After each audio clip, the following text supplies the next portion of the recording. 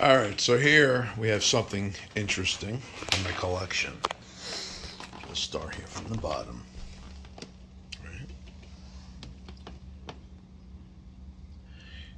This is a female skeleton from the 1830s. Right. Kept with respect.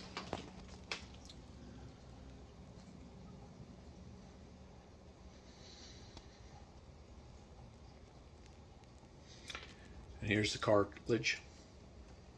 Amazing. No plastic. Human cartilage.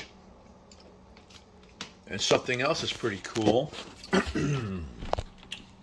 Here are the kneecaps.